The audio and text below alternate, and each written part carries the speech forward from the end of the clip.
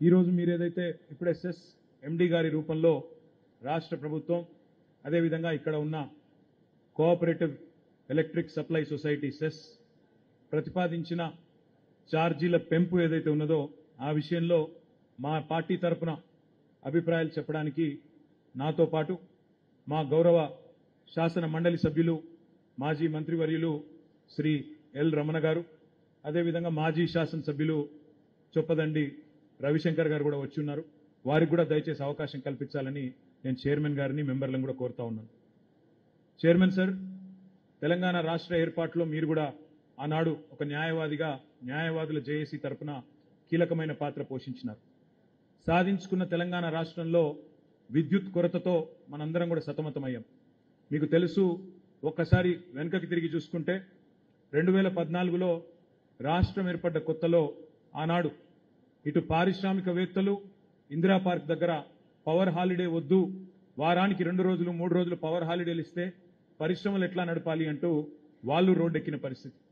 మరొక వైపు రైతులు అరకొర కరెంటు సరఫరాతో సతమతమైపోయి ఆత్మహత్యల ఊబిలో అప్పుల ఊబిలో చిక్కుకుపోయిన దుస్థితి మరొక వైపు.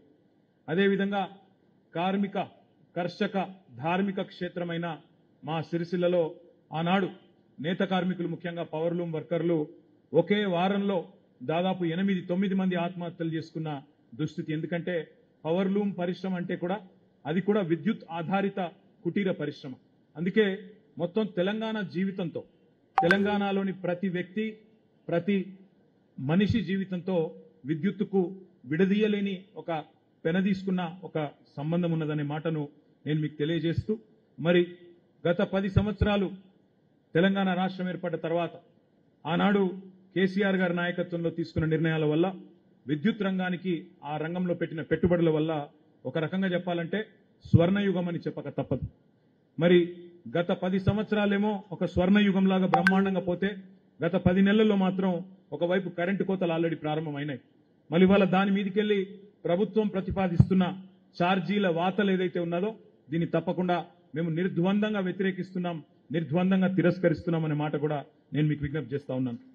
పాలకులకు విజన్ ఉంటే సంపద పెంచాలి పేదలకు పంచాలి. కానీ ప్రజల మీద కరెంటు భారం మోపి ఛార్జీల భారం మోపి సంపద పెంచుకోవాలి విద్యుత్ పంపిణీ సంస్థలది అనే ఆలోచననే సరికాదు అని మేము భావిస్తా ఉన్నాం. డిస్కంలు అంటే డిస్ట్రిబ్యూషన్ సంస్థలు. కానీ ఖజానాకు కాంట్రిబ్యూషన్ చేసే సంస్థలుగా వాటిని చూడడం కరెక్ట్ కాదు. విద్యుత్ అంటే వ్యాపారం కాదు రాష్ట్ర ప్రగతిని పరుగులు పెట్టించే ఒక రథచక్రం. విద్యుత్ సంస్థల బలోపేతం కోసం చేసే ఖర్చులు ప్రభుత్వం భారంగా చూడడం కరెక్ట్ కాదు. ఇది ప్రభుత్వం బాధ్యతగా చూడాలి. రకరకాల ఛార్జీల పేరిట పేద మధ్యతరగతి నడ్డివీర్చేందుకు సర్కారు కుట్ర చేస్తున్నదని మేము భావిస్తా ఉన్నాం. అదనపు ఆదాయం కోసం పద్దెనిమిది వేల కోట్ల అదనపు భారం మోపాలన్న సర్కారు ఆలోచననే దుర్మార్గమైనది ప్రజా వ్యతిరేకమైనదిగా మేము భావిస్తా ఉన్నాం.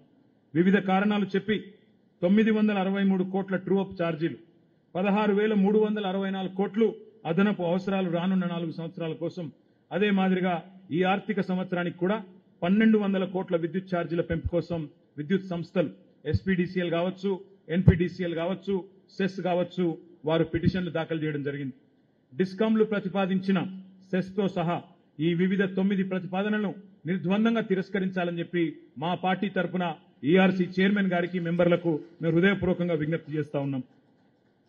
ఒక మాటలో చెప్పాలి అంటే గతంలో పదేళ్ళు ప్రభుత్వంలో ఉన్నప్పుడు రాష్ట్ర ప్రజల మీద మేము రూపాయి భారం కూడా కొత్తగా వేయలేదు. సాగునీటిని ఉచితంగా ఇచ్చాం. కాళేశ్వరం లాంటి ప్రపంచంలోనే అతిపెద్ద లిఫ్ట్ ఇరిగేషన్ ప్రాజెక్టు కట్టినా రూపాయి భారం కూడా రైతుల మీద పడనీయలేదు. ఇంటింటికి తాగునీళ్ళు ఇచ్చిన మొట్టమొదటి రాష్ట్రం తెలంగాణ మిషన్ భగీరథ ద్వారా. కానీ ఒక్క రూపాయి భారం కూడా ఒక్క ఆడకూతురు మీద ఒక్క ఇంటి మీద కూడా వేయకుండా ప్రభుత్వమే మొత్తం భరించింది. అదే మాదిరిగా మా సిరిసిల్లలోని నేతన్నలు ఎవరైతే ఉన్నారో వారి కోసం కూడా పది హెచ్పీల వరకు మరి యాభై శాతం సబ్సిడీతో ప్రభుత్వమే గత పదేళ్ళు కూడా భరించడం వల్ల ఇవాళ వాళ్ళ స్థితికి వచ్చినారు. ఇవాళ నేను సిరిసిల్ల శాసనసభ్యుడిగా మా నేతన్నల తరపున విజ్ఞప్తి చేస్తా ఉన్నాను. ఆ పది హెచ్పీలను ముప్పై హెచ్పీలుగా పెంచి యాభై శాతం సబ్సిడీ సిరిసిల్ల నేతన్నలకు కూడా అందించాలని చెప్పి కూడా మా పార్టీ తరపున కోరుతా ఉన్నాం. ఒక్క మాట ఇవాళ పెంచిన ప్రపోజ్ చేస్తున్న ప్రతిపాదన ఏదైతే ఉన్నదో ఇళ్ళకు వాడుతున్న కరెంటు. ఇక్కడ ఉన్న అందరూ కూడా వినాలని నేను కోరుతా ఉన్నా. ఇళ్ళకు వాడుకునే కరెంటు ప్రస్తుతం మూడు వందల యూనిట్ల దాకా ఏదైతే ఉన్నదో ఫిక్స్డ్ ఛార్జీ పది రూపాయలు ఉన్నది. కానీ వాళ్ళ పెంచుతున్న ప్రతిపాదన ఏదైతే ఉన్నదో పది రూపాయలను యాభై రూపాయలు చేస్తూ అంటే యూనిట్కు మూడు వందల యూనిట్లు దాటితే ఫిక్స్డ్ ఛార్జీ ప్రస్తుతం ఉన్న పదిని ఐదు రెట్లు పెంచి యాభై రూపాయలుగా ప్రతిపాదిస్తా ఉన్నారు. దీన్ని మేము వ్యతిరేకిస్తున్నాం. ఎందుకంటే ఇప్పుడు కరెంటు పెరిగిపోయింది వినియోగం. ఎండాకాలం వచ్చిందంటే నాకు తెలిసి బహుశా ఏ ఇల్లు కూడా ఇప్పుడే నేను సెస్ చైర్మన్ గారితో కూడా కొద్దిసేపు మాట్లాడినాను అదేవిధంగా అధికారులతో కూడా కొద్దిసేపు మాట్లాడినాను. ఉదాహరణకు మా సిరిసిల్లనే తీసుకుంటే ఒక లక్ష ఇరవై ఆరు వేల గృహ కనెక్షన్లు డొమెస్టిక్ కనెక్షన్లు సెస్ పరిధిలో ఉన్నాయి.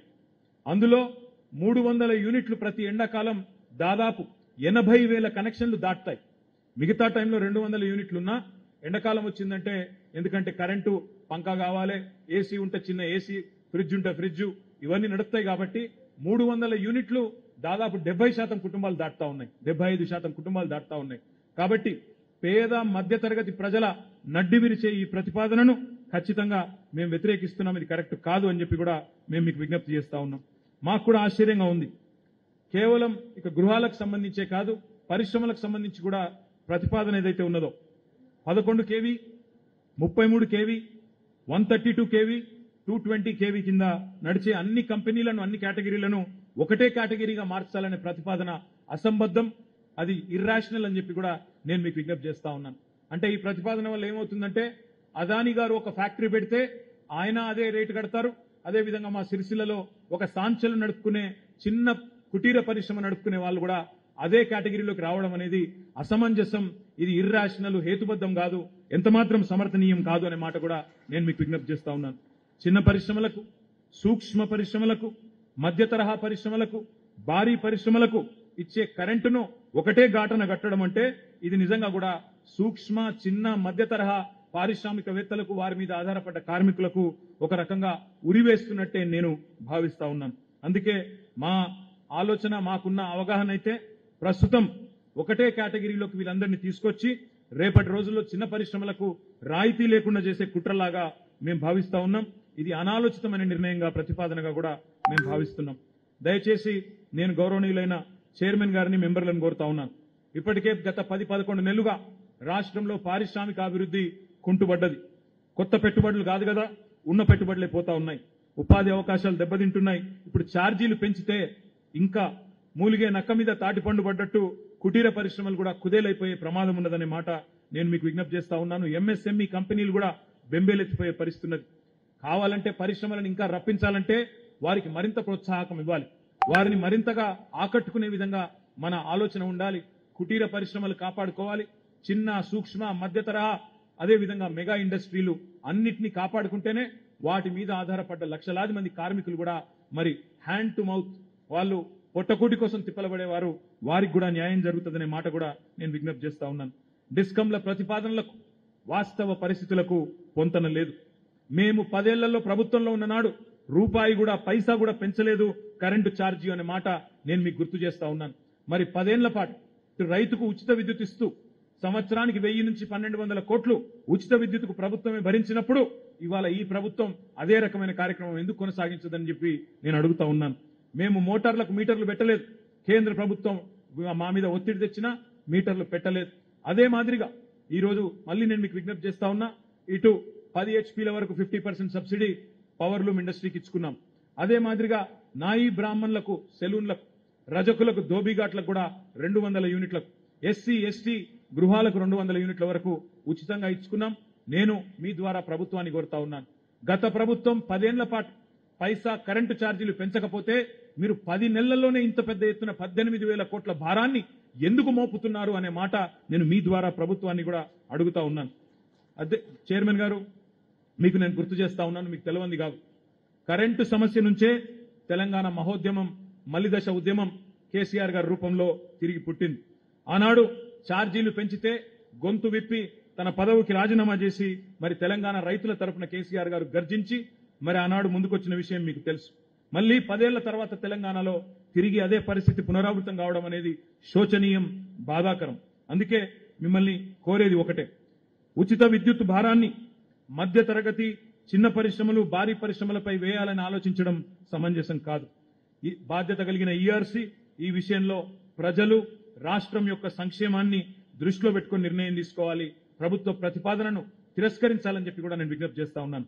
ట్రూ అప్ ఛార్జీలు తక్షణం విద్యుత్ ఛార్జీల పెంపు అంటూ ఈరోజు ఉన్న ప్రభుత్వం ప్రజల మీద భారం మోపే ప్రయత్నం ఏదైతే చేస్తున్నదో దయచేసి దీన్ని ఒక వ్యాపార వస్తువుగా విద్యుత్తును చూడవద్దని చెప్పి ప్రభుత్వాన్ని కూడా కోరుతా ఉన్నాను. చివరగా నేను మా సెస్ తరపున కూడా ఒక రెండు విషయాలు. మా చైర్మన్ గారు ఏదైతే ఇప్పుడే మీకు విజ్ఞప్తి చేసినారో. సెస్ అనేది పంతొమ్మిది వందల డెబ్బైవ దశకంలో మరి చాలా పెద్ద ఎత్తున ఆనాటి అప్పటి ఇక్కడి నాయకుడు సిహెచ్ రాజేశ్వరరావు గారు చెన్నమనేని రాజేశ్వరరావు గారు చాలా మంది ఇక్కడ స్థానిక పెద్దలతో కలిసికట్టుగా వారు తీసుకొచ్చిన ఒక సంస్థ.